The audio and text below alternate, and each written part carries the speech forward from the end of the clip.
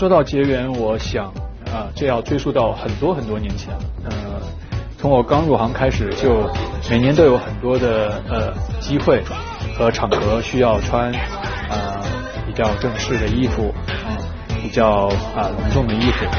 啊，后来呢，慢慢的我的造型师就跟我说，我发现你选的大部分的衣服都是阿玛尼。后来他们也总结出来，觉得呃。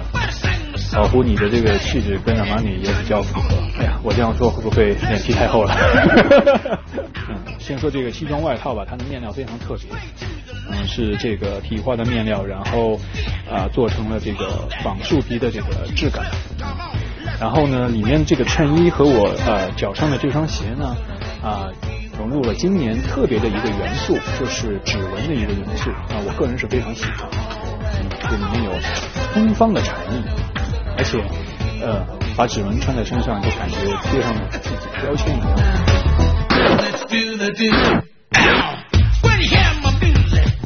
当去年我第一次去到阿玛尼的秀场的时候，我还是觉得很荣幸的，嗯，也是一种缘分。然后，呃，去年在呃米兰也有幸见到了阿玛尼老先生，呃。